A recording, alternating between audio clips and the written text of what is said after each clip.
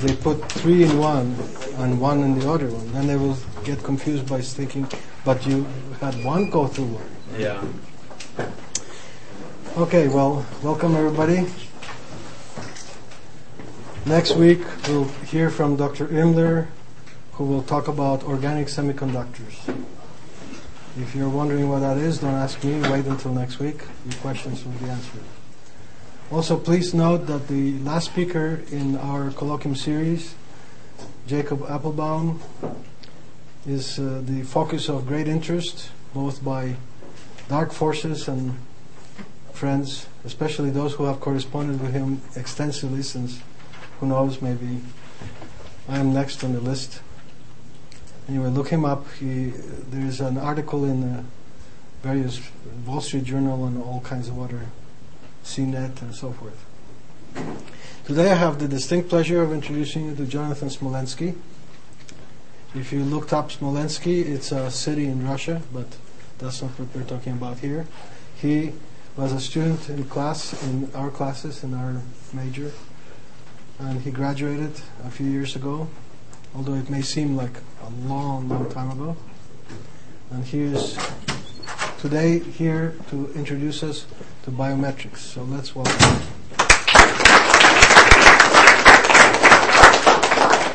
Hi, everybody. I'm Jonathan Smolenski, as Professor Lydian said. Um, so I'll tell you a little bit about myself first. I come from the biometrics industry, which, if you guys did your Googling like I know you're supposed to for all these colloquiums and write on the back of your little type up. Um, biometrics is taking human characteristics and using them to essentially identify unique individuals.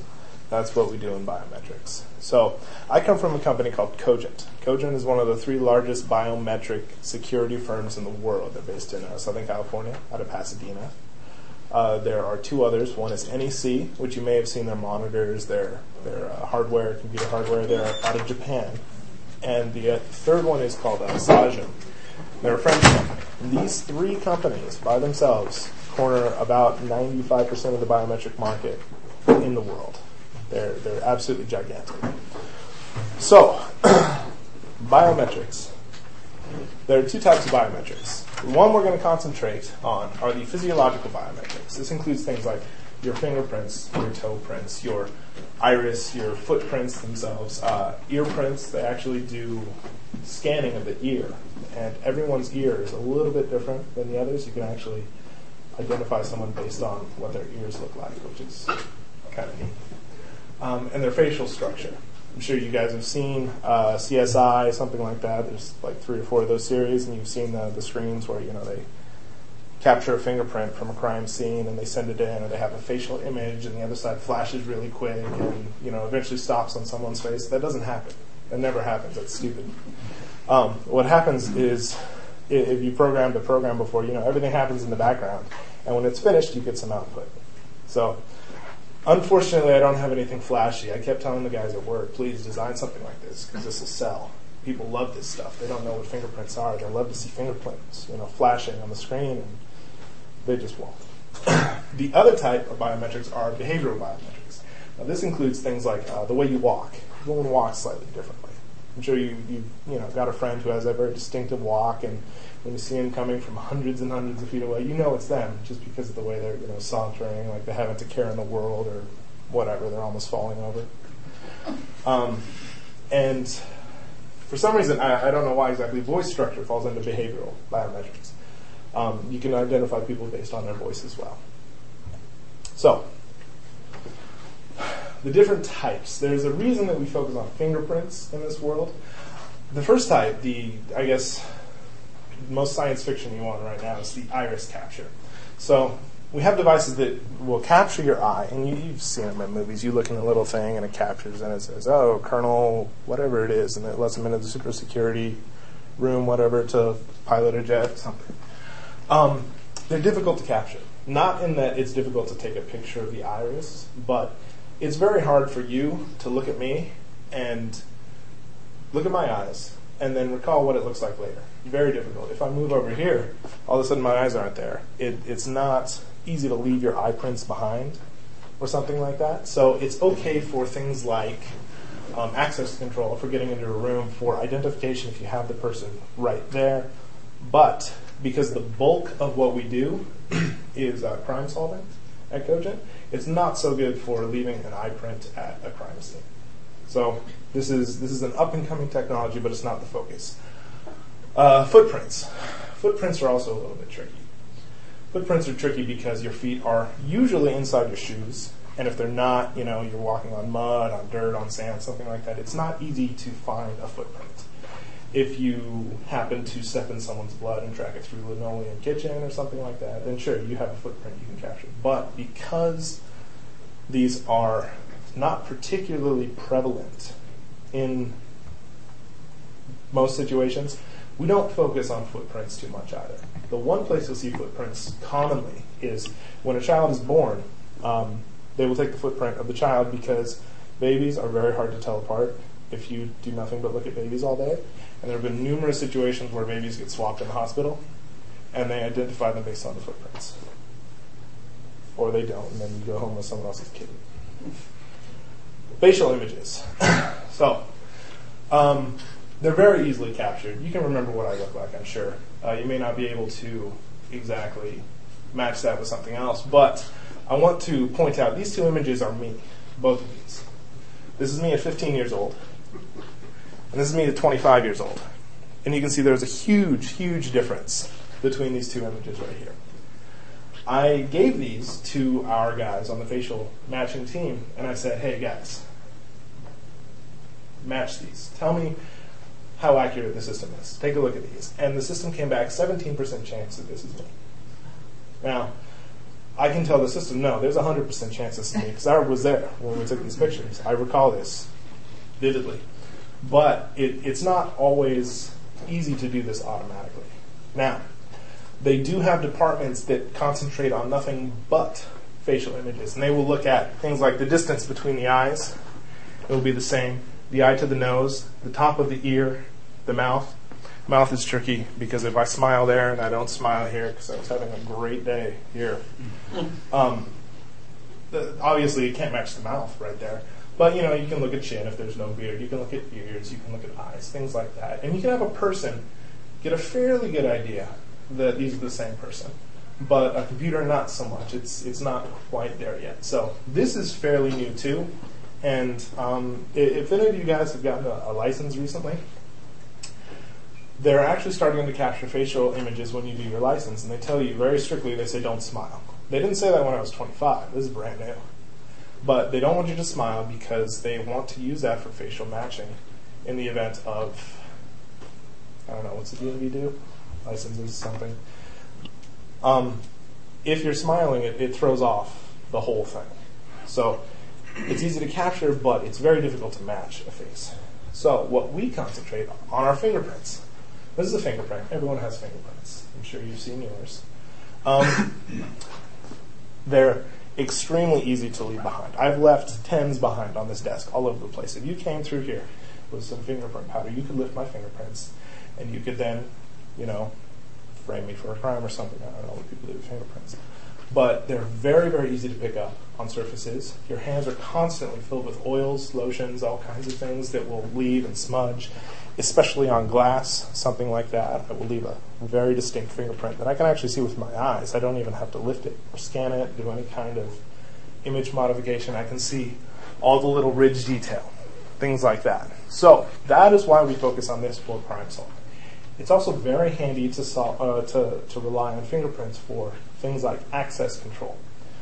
Um, so go over the different types that we use. So in the industry, we have the criminal departments. We have access control, which is things like you know little fingerprint scanner. You scan your fingerprint, you walk into the door. We have immigration. If you guys have ever left the country and come back in, you'll see one of these little scanners at every single gate coming back in. And occasionally they'll have you take your fingerprints. We actually built the system for them to do all the matching for the fingerprints. They don't use our scanners because this one's kind of you know questionable as far as quality goes. But they will. You said this is going on YouTube. Yeah. All right, never mind. These are fantastic scanners. um, well, so much for that. Um, Sometimes they break. But uh, Guardian currently, I think, is the company that has the, uh, the some of the best scanners in the world. They're absolutely fantastic. Um, but you'll see one of these little scanners at every single gate coming in. You'll see, actually, um, I think they may, in fact, use this exact camera. This is a very prevalent camera in the industry. Um, so, that's why we focus on fingerprints. Easy to capture, easy to match. This is all easy. Yeah. Uh, as far as rate of uniqueness goes, um, so if you look at this fingerprint and you look at another fingerprint that has the same basic pattern, it may be difficult for you to tell right away that they're not the same fingerprint. I have to stress that this is the most important thing in this industry is to tell that these are not the same person. All right? If you can prove that they are not the same, then there is no one in the world that can say that they are the same. A false positive saying that yes, this is the same person when in fact it isn't is the most detrimental thing that an AFIS can possibly do, that a fingerprint operator can possibly do. Because there may be occasions where you are in control of somebody's life at this point. You're going to court, you're testifying, you're saying, yes, this is the same person. He murdered 50 people in a mini mall. If that's not the person, then all of a sudden you've taken that life into your hands. That, that's a huge thing to weigh on your conscience. So, the most important thing for us as AFIS designers is to have no false positives. Now, false negative. What's AFIS? Sorry, I haven't gotten to the AFIS slide yet. So, AFIS is what we call the, the automated fingerprint identification system. It's a little bit misleading. Um, it's very hard to have a computer convict somebody or not. So, I like to say assisted fingerprint identification system. It will narrow down out of the millions and millions of fingerprints out there. It will narrow down your prospects for the examiner to actually take a look at. So, little known fact in most countries, in most systems, there is an 80% recidivism rate for criminals, which means if we don't get you this time, there's an 80% chance you're coming back. So, we don't focus entirely on getting every single bad guy because we'll get you eventually. It's going to happen. Um, all right, so how do we actually match these biometrics? This is the same for every type of biometric. First, we capture the image. If you don't have an image to process, you can't do anything. Capture the image. Extract minutia. Minutia are unique points on the fingerprint that we can compare, or on the, the biometric image that we can compare with other points to determine if this is the same person or not. All right, so I'll go over a little bit more in detail what minutia are on fingerprints. Um, then we match them, of course. The computer system can do that. And then we have to confirm the hit. An operator has to confirm the hit when it is a, a, a criminal case, something like that. All right, so step one scan the fingerprint. We use a device like this, and this is a glass with a light and a camera inside. And if I touch this glass, I'll show you in our, our demonstration a little bit later, you'll actually see my ridges appear on the screen just as I touch the glass, just because they are then blocking the light from escaping. So you'll see shadows on this device. First, we capture the fingerprint.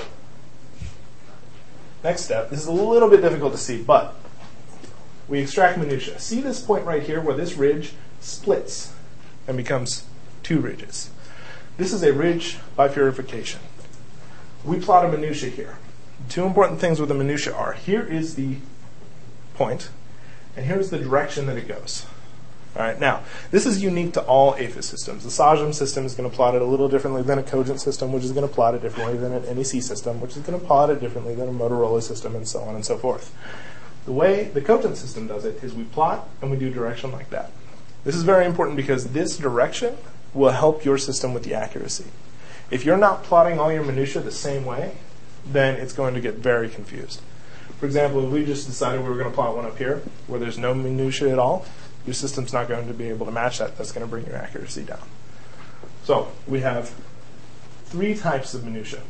We have bifurcation, we have a beginning ridge, and this, uh, I'm going to use this as an example, but it's not really.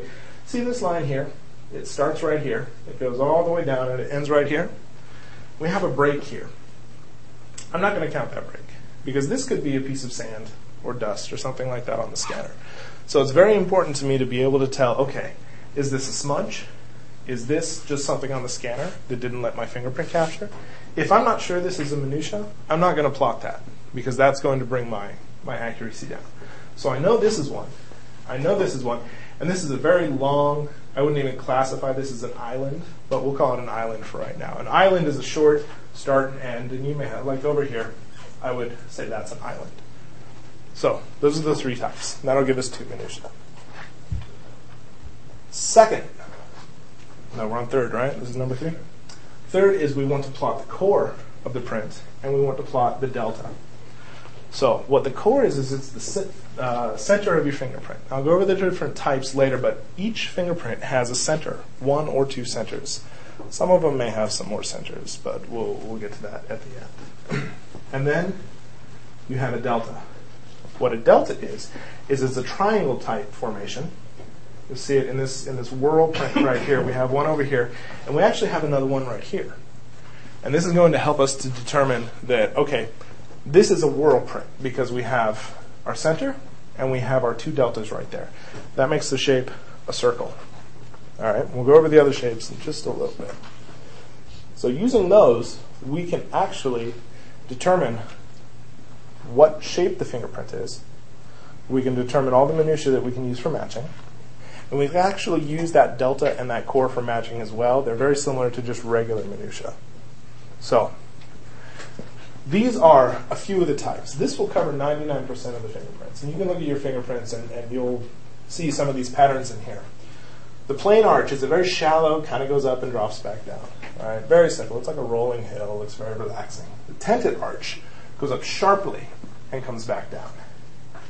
We determine this a little bit differently because, as you can as you can see here, there's not much in the way of, of triangles. There's not a whole lot of deltas right here.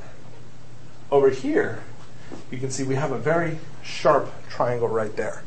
So that's going to determine these are two different types of fingerprints. This is the left slant, and then over here is the right slant. They're very similar.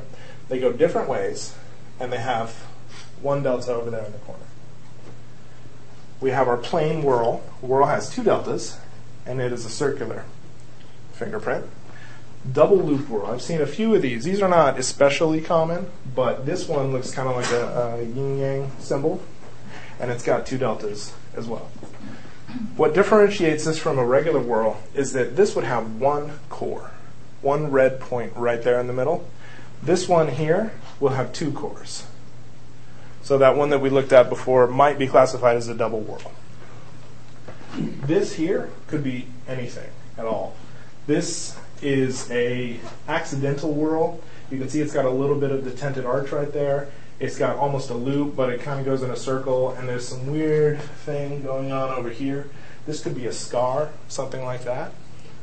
Something that's very important when you're looking at minutia. Scars, if they cut deep enough, they will become permanent in your fingerprints. I don't have a diagram of this, but I, I can explain how it works. Your epidermis is the outer layer of your skin. This is where your fingerprints show. If you cut this layer away, don't do it. Um, you have the layer underneath, which is actually where your fingerprints grow from. Unless you change that layer, your fingerprints will always come back. So that scene in Men in Black where Will Smith puts his fingers on the balls, that was stupid. That is is completely wrong. His fingerprints would have grown back in like three weeks. So you can't remove your fingerprints unless you cut deep enough for it to hurt a lot. And there are people who have done this. Um, I'll talk about some of the, the little weird things that have happened in the industry at the end, but there was a, a, a lady who cut off the tips of her fingers deep enough to transplant them onto other fingers. no, it's a horrible story. Um, but I'm going to tell it anyway. Yeah, um, so she actually swapped them around. I don't know what she did with the pinky because I guess you could put it on the ring finger, but it's so small. So anyway, um, she swapped them around. She thought it was absolutely brilliant, right? They'll never catch her again. Well, remember that 80% recidivism rate? They caught her again, and now she has new fingerprints in the system. So sucks for her. That, that's that's the biggest problem. Even if you do change your fingerprints, if you keep committing crimes, it's not going to matter because you're just going to have a new record. Okay. So, what if I have a country? Let's, let's roll back from country. Let's say, what if I have a city like Los Angeles? Los Angeles has 7 million people in it. All right? I don't know if you've ever been to Los Angeles, but a lot of these people are criminals. And we don't keep one record per person. Every time you get arrested and you get booked, we're going to create a new record in the system. So I may need a system that has upwards of 30 million records in it, just for this city of 7 million. I hope it's not that bad. I really do.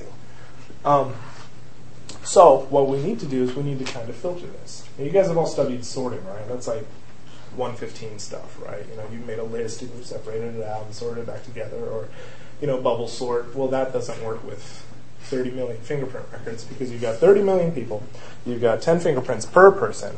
What if they had six fingers? Then you're kind of screwed. Um, it's it's too much work to do every single time you need to do a search. So what we can do is pick out things that are very noticeable, like eye color. We can say, okay, if your eyes are this color, then we can kind of filter out all the non-brown eyes, and we can just concentrate on brown, or concentrate on blue, or concentrate on hazel. Or if your eyes change in the sunlight, then you get out of jail, whatever. Fingerprint pattern filtering is also very, very important. If you look at this, take a look at your fingerprints for just a moment. your fingerprints may not have the, the same pattern on every single finger. You're going to have a very, very unique combination of prints. For example, I have a loop, tented arch, tented arch, tented arch, tented arch, loop, tented arch, tented arch, tented arch, tented arch. I'm almost positive not a single other person in this classroom has that pattern. And if you do, then I think we're we're one in like 45 million or something like that. It's, it's a very, very low chance. Your pattern is going to be very, very unique to you. Now, if you go through all 7 billion people in the world, I'm sure you'll find one or two people that have the same thing. But say we're doing a, an identification system for a country, it's very rare that you're going to find two people in that country that have the same thing. So we can actually use this as filtering. And this is going to cut out a ton of the work. And then there's patch filtering. So, what is patch filtering? Patch filtering says, okay, suppose you and I have a tented arch on this finger, and I do, so I can say that.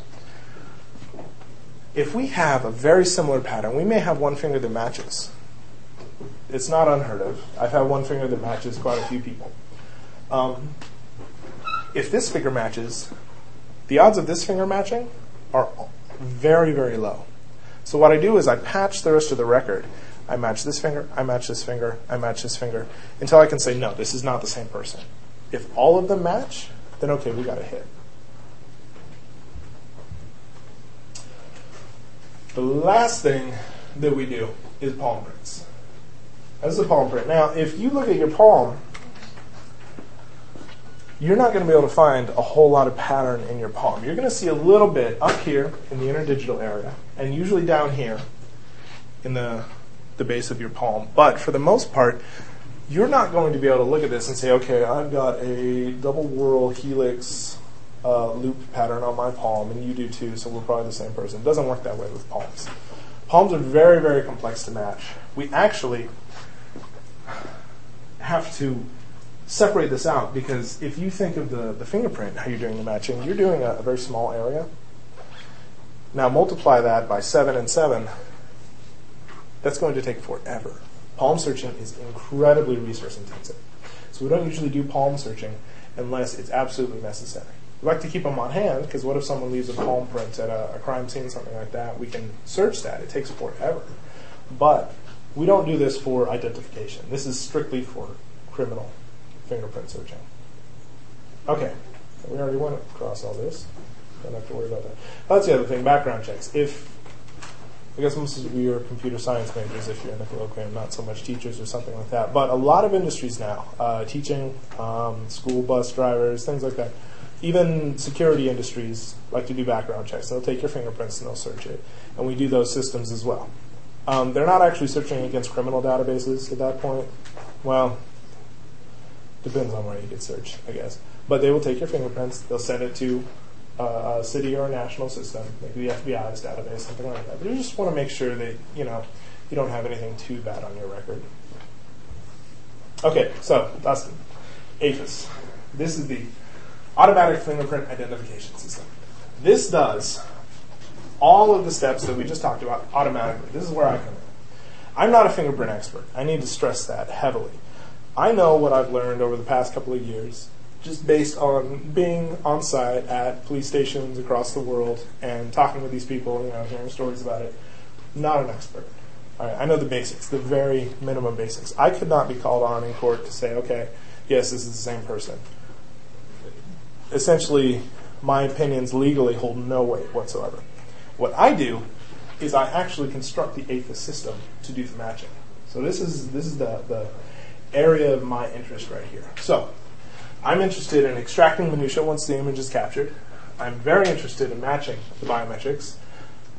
Secondary matching I especially like because that goes very quickly. And then we interface with remote stations to send and receive records. So if you're a police station, actually, you know, they have one here on campus. They have a Cogent fingerprinting station here on campus. or in the police station, if you ever get arrested, um, they will take you back there and they won't fingerprint you because I don't think they use it anymore. But it's back there in a locked room that you can't see. So just think of that next time you guys go to a police station. Um, they will scan your fingerprints and they will submit it via email, via FTP. They will encrypt it, send it over a web service, whatever method they've chosen to do. They will send it to probably um, probably the FBI or something like that, or they may have a contract with another company that has an AFIS. We can actually make our AFIS interface with any sort of external scanning station. All right, no problem. We can send results back to it. So they may scan, send it off. A couple minutes later, they get a result. No, this person doesn't have a criminal record. Okay, great, make one. Done. All right, so to begin designing an AFIS, to break this up into the modules that we need to do, first we have to have a module for collection. Then we have to manage the flow of this fingerprint. The reason we have to manage the flow is because not every single fingerprint is going to go the same way.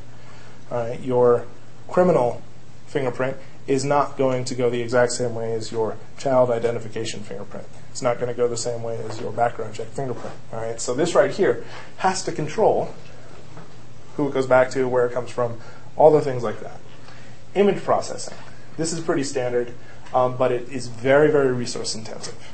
So to actually take an image, to look at every single pixel, to find the, the designs in the fingerprint, things like that, very, very difficult. So we have a separate server usually for that.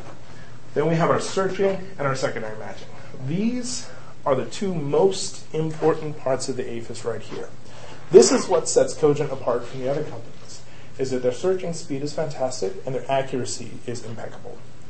All right, this is the, these are the two areas that they do benchmarks in fingerprinting, searching and accuracy. All right? So here is a small AFIS system broken into servers. This is how many servers I need. I need at least five servers. I need a database of some sort. That looks good on the smaller resolution, doesn't it? That looks really nice. Um, and then I need a scanning station or multiple scanning stations. Now, this is a, a very, very loose representation of an AFIS. I may have an AFIS that has 15 region servers. So I'll explain what this is a little bit. A region server is like a state machine. Have you guys discussed state machines and how you know you have something and whether it's yes or no, you go to a different area? That's essentially all a region server is. So I get a print. I say, has it been scanned? No? Okay. Or processed? No? Process it. Great, send it back. Okay, has it been processed? Yes. Let's search. Send it to searching. Okay, it's done searching. Has it been searched for the second time? Has it been patch searched? No? Okay. I skipped a few. Uh, patch searched. Go ahead and do that. The region server controls everywhere that this fin- fingerprint goes into the system. All right. The AFIS server is managing all the searching and all the database. This is the core of the system. That's why we call it the AFIS server. It's very, very confusing when you talk about an AFIS server versus an AFIS system, but that's what we're going to do. And then these two right here are really the proprietary parts of the system that set each of the AFIS companies apart. So I've worked on systems that have 100 servers designed in different ways. Maybe I've got, you know, 30 searching servers and 30 secondary matchers and five region servers and a few AFIS servers. It, it can be absolutely gigantic or it can be very small. This laptop actually has an AFIS on it. completely in a, a single package. All right, so that is the basics of the AFIS. Now we're going to do a little bit of a demonstration, okay? So you guys can see what's going on with this CSI stuff that people keep doing. All right. So this is my scanning station. I'm going to start by opening this up, and I need a volunteer for this. Who wants to scan their fingerprints? Come on up.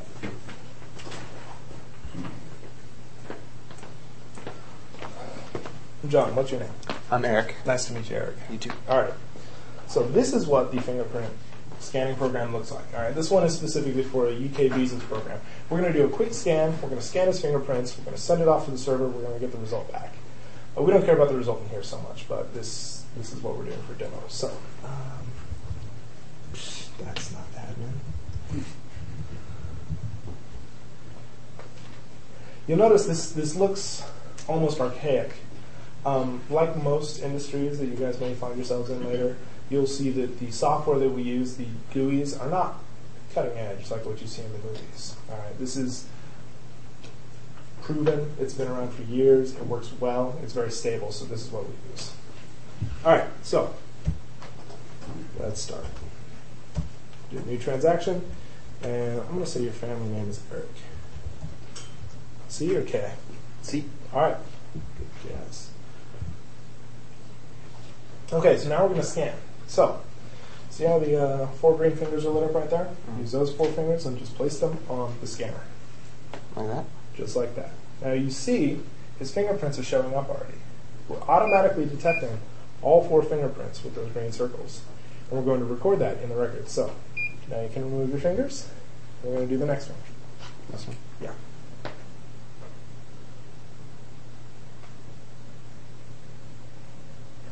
The smudges that you see at the top are when the scan is very cold, it gets this effect called haloing, so it may have trouble finding it. So if you press a little harder, there you go. We're going to create a monster record. Explain to you why this is a monster record in a little bit. All right, so here, I guess I need this side. Go ahead and put your thumb down, and we'll get the finishing touches on our monster. Yeah. Okay. It's All right. Oh well. All right. So there we go. We have the entire fingerprint record right there. So this is a, uh, a UK visa program. A visa program is capturing your fingerprints very quickly. We call it a 442, and you're done. If you are uh, a criminal, then what they will do is they will do your four, one, four, one, so that you can always keep them handcuffed. And then, um, and then they will roll each finger one at a time and get a full rolled print. That gives you higher accuracy. Now, if we'd done that, it would have said, uh, wait a second, when you put your thumb down, it doesn't match the rolled thumb, and it would have complained that I got two left thumbs there. But our monster record doesn't know, so we don't care. Okay, so now we're going to take a facial image so that if this record comes back as a hit, and we have a completely different face than what they submitted it with, we're going to know. So, everybody smile. It's looking at me. Yeah, it's got you. Nice. Boom. Done. That's our, our uh, facial recognition algorithm right there. Okay. Everybody is smiling. Wow, I didn't think you guys were actually going to do that. Okay, thank you, Eric. I think we're good to go. Okay, so we're going to create a record, we're going to put it in the queue, and it's going to send off to our AFIS. All the, the backend stuff is currently running on a virtual machine that's running on this computer, so we don't have to worry about all the backend. It all usually works pretty well. So, sending, sending. Eventually, it's going to say sent, just like the one above it that I was testing with last night because I wasn't sure that the system worked and I wanted to make sure it did. And then um, we can actually go and look at it in the queue. Okay, so we're sent. We're done. So, if this were an actual scanning station, if this were the station here at Sonoma State, then in a few minutes we would get a result and it would say received. And we're good to go. We can tell, okay, is this a hit? Is this not a hit? So, let's go ahead and get out of the scanning software. And now we can go into the CAFIS client. So back at the central office, this is what our fingerprint examiners are looking at. They may be a little bit scrunched on this screen, but we'll, we'll make this work.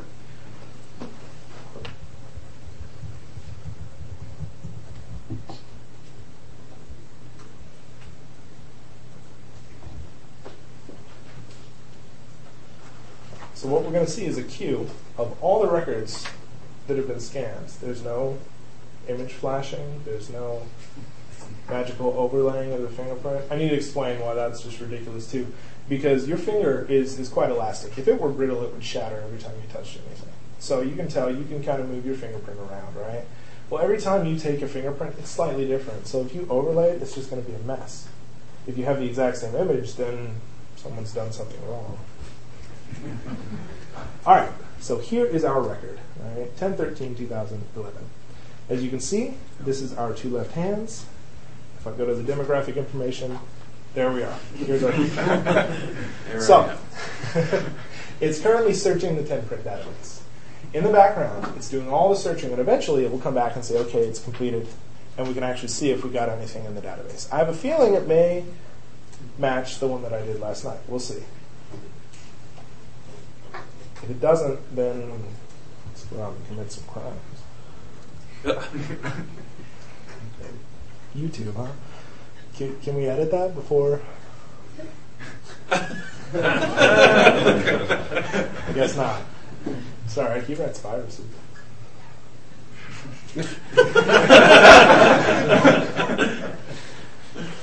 All right.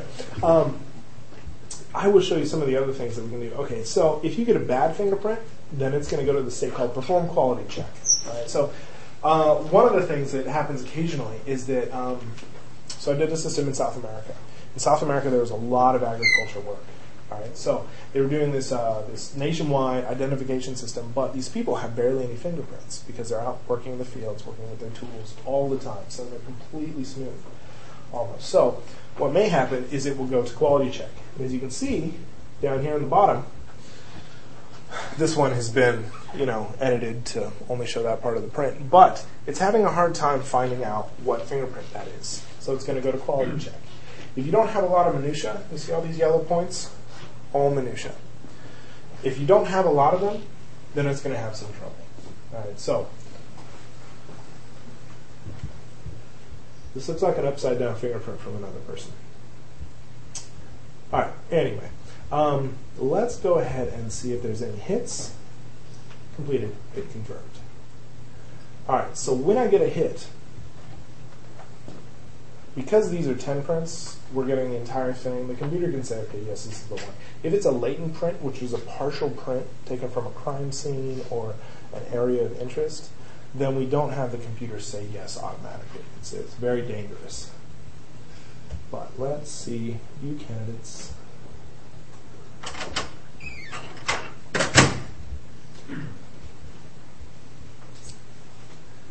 All right, let's find out if this is really the same person. So.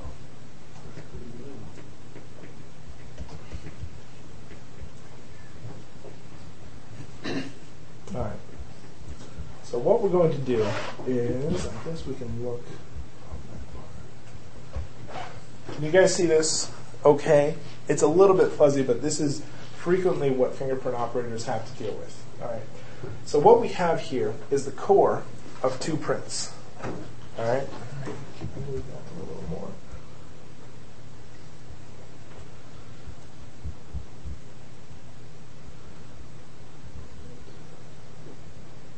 Maybe that's a little bit better. Okay. So here I have some prints. All right. Does everyone see this 43 up here, this yellow box right there? Right here. It corresponds with this 43 here. All right. So this is a matching minutia that we have. All right. Now that's not enough to convict someone or to say that yes, this is the correct person. We need, depending on the department that you're in, we need maybe 7, 10, 15 matching points before we can say yes, this is the same person. So we look at that point 43.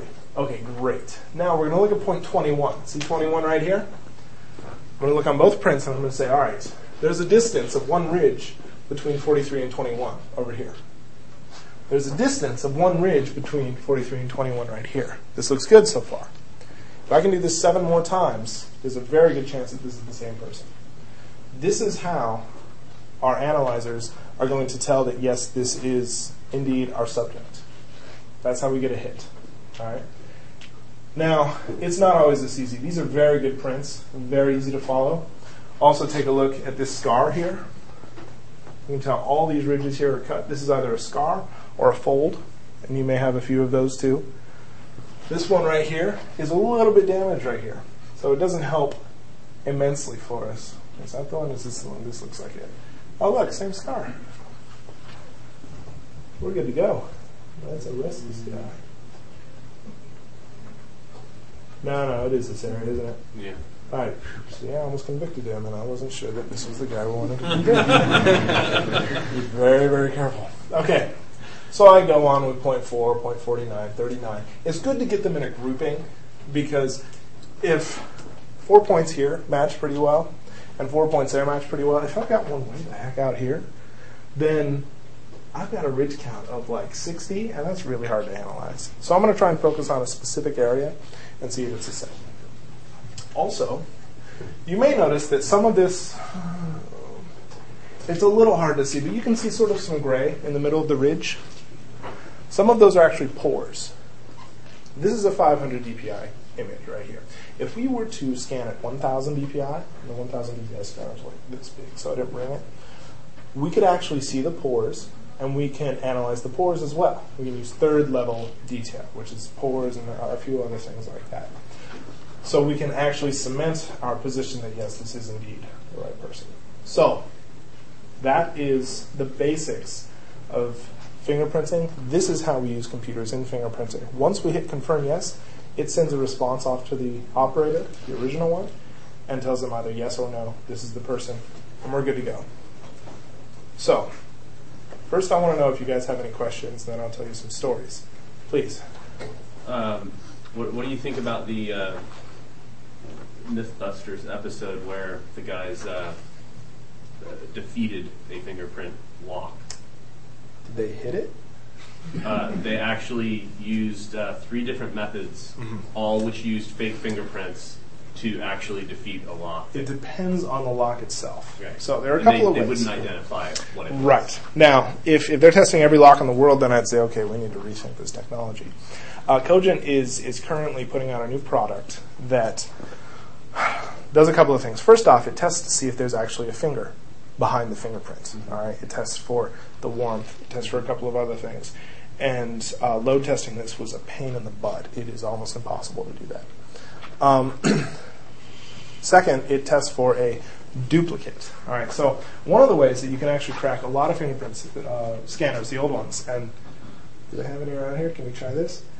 If someone puts their fingerprint on there and goes in, if you lean up to it and just breathe on it, it will remoisturize the sensor, and it may get you into the door.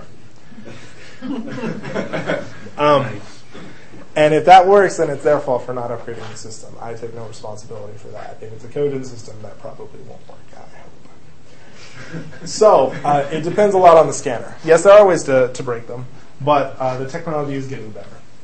Yeah. I also know that you can uh, create a fake fingerprint, but if you're doing things like third level detail with pores, it's extremely hard to simulate a pore. They're tiny. Yeah. Um, you said that on a fingerprint there's a delta, which is the Yes. triangle shape. I noticed I was looking at my fingerprint and it looks like there's two deltas on the thumb and one delta on the other four fingers. Come on is up. that true? Let's find out. Well, I don't know. I haven't seen your fingerprints yet. Let's uh, let's find out. Come on up here. He's gonna send it. No, no, we'll just, we'll just scan it real quick and then we'll we'll take a look. Uh, while this is booting up, are there any other questions? Uh, what about the use of veins? That's also third level detail. Some scanners can actually detect the veins behind the finger and use those for matching. Um, that's a little bit trickier to scan. Um, there are a few scanners that do additional things, like you can actually measure a fingerprint from a few feet away. Uh, some company just came out with a scanner that takes a three-dimensional image using HDR photography and different angled lenses, and can take a picture of your fingerprint from like this far away for matching. Um, it's it's very new in the industry, so it's not quite there yet. It's not prevalent in a lot of systems, but it's it's coming. Uh, there's one on Roger. Um, does, does your system show how many matches? Sort of. Did it saw to My my system is currently configured to send 30 candidates back. It doesn't send matches back; it sends candidates back. I have to tell whether or not it's a match. So, uh, depending on the system, it may only send one per subject. It may send one per per booking record. So I may have you know 30 back, and if it's a particularly naughty individual, I may get 30 cards back that are all that person's. so, what's your name? Zack, Z A C K. I can't believe you guys are so willing to let me just put that in there. That's incredible. okay, so uh, instead of doing the, the four, go ahead and do the one you're interested in. Oh, just Which one? just all these. Okay, so if you take a look, all right, over here, you actually have the accidental whirl. It's almost exactly like that image. Did you make that image? Very similar. Okay, over here we have a loop. Right here, we also have a loop. Here's your delta down here. And if you move this one over a little bit more, we can see. But that is a, a very unique print right there. So, Yeah, and then on the thumb, yes, so what you have here is a double whirl, I would looks like this. there's a delta there and a delta over there. Right. So it is a whirl. It's a circular print, but because you have that kind of yin yang thing, I would call that a double whirl. Yeah. So those Okay. are those are. I'm wondering now how unique it is because I've only ever seen loops and arches. I always thought whirls were the coolest thing, and I wanted all whirls back in the day. but it, it doesn't work that way. All right. Sorry. Uh, I feel like yes. There was this episode of White Collar where a person would rub a stone on their fingerprints and it would just remove them for the day, and they Right. did it every morning. Right. Oh, that doesn't exist. Right. Um, if you don't like picking stuff up, that's really good. Your fingerprints actually act like the tread on a car. So you, you were constantly, you know, sweating slightly, and it's not like pouring sweat off their hands and hands. Don't freak out about that. Um, and they act like like tread on the car to move the sweat and the oils and things like that out of the way so that you can pick things up. If you had completely smooth fingers, I would have a heck of a time picking this up. And if someone asked me to open a jar, there's just no way I would starve for the dish. So if you're really worried about that. Now, this right here is called a writer's point. When you write something, this is touching the table. This is going to hurt to remove. So we always capture this so that we can get you. So that's another way that, uh, that we can kind of circumvent that issue.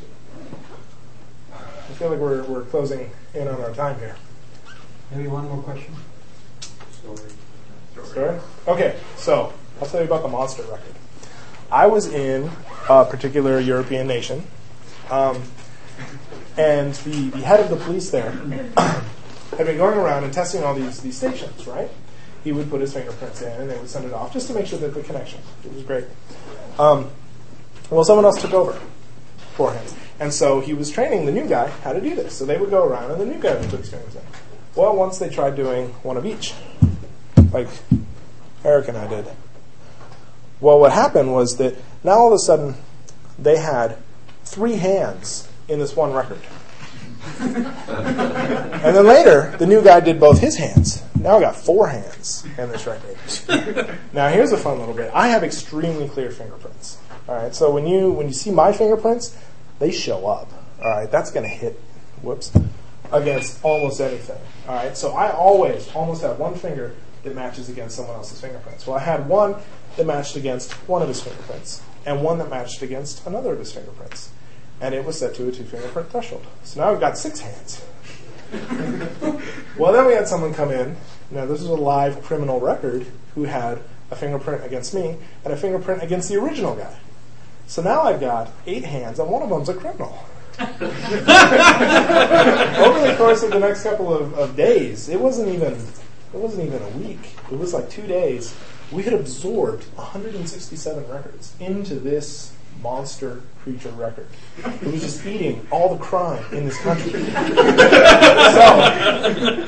it was kind of a pain. I had to go through and you know separate everything out and figure out okay where did this start, separate it, delete the, the nonsense records, and then get the criminal records back in the right spot.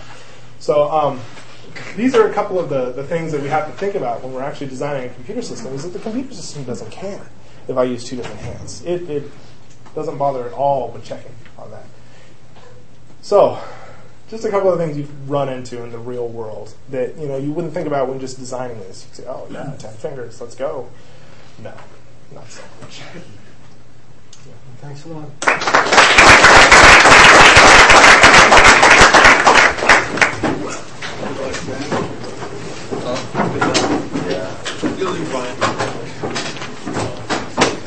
And as you can see.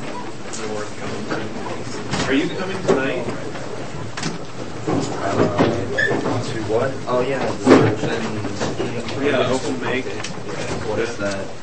You know what Make Magazine is, right? no idea. Go and look it up.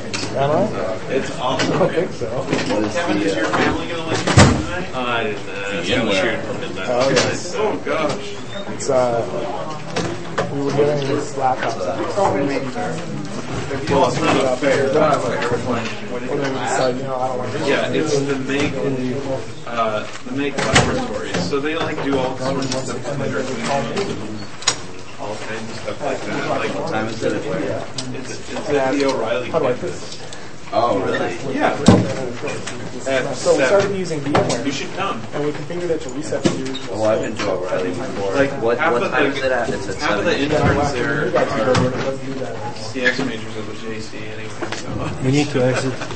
Okay. Well, I might go. I don't know. you should. It'll be fun. Yeah, let's go for it. We're gonna reimage this laptop anyway. Oh, they put it. This could be a five-hour lecture. We could talk about knuckle, knuckle prints, Uh, oh yeah, I did knuckle prints once. Yeah, they uh, they don't turn out well. um, lip prints as well. I haven't done lip prints yet. That would be fun. They may be wearing gloves, but they're drinking. Oh shoot. I need to use my little devices. Oh, what did we miss? I'll show you later. They're really cool.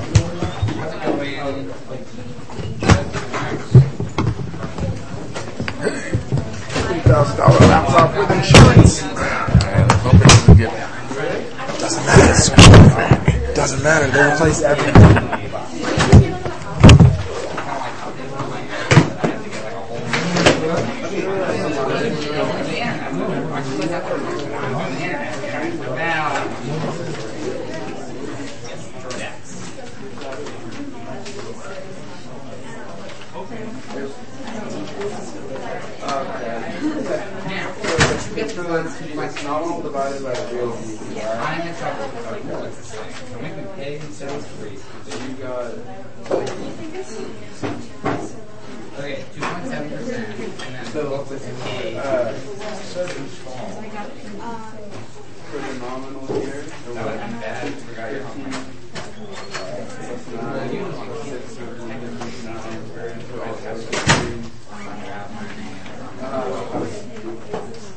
Yeah, yeah, it's, it's gonna be, you're being on a different page.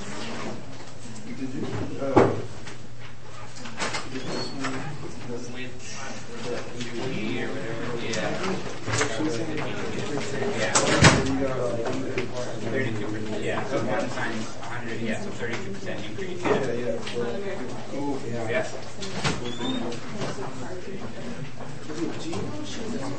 Like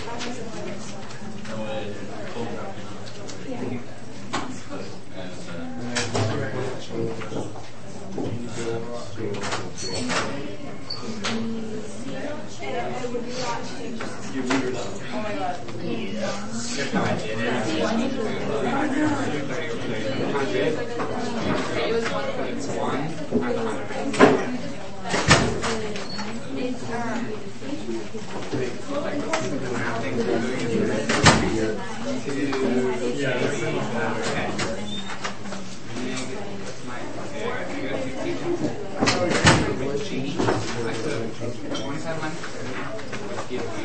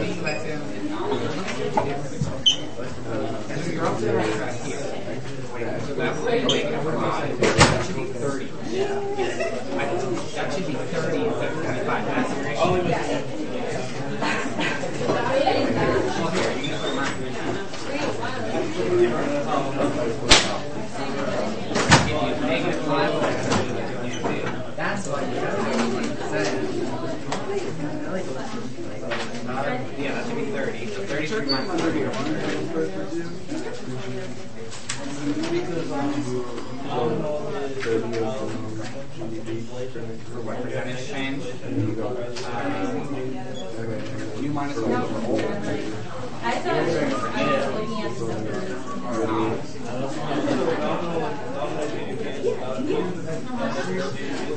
Yeah, that's where you go wrong. then you're also negative 530, which is negative 530. I reduce Thank you.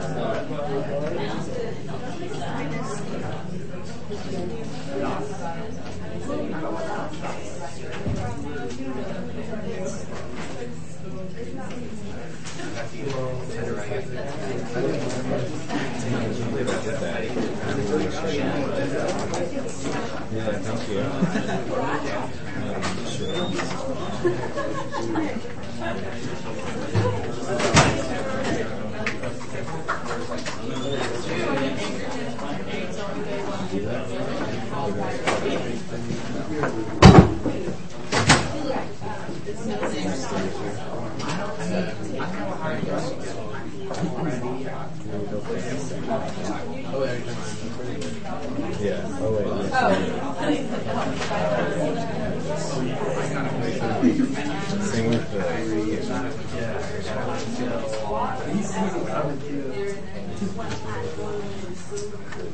that.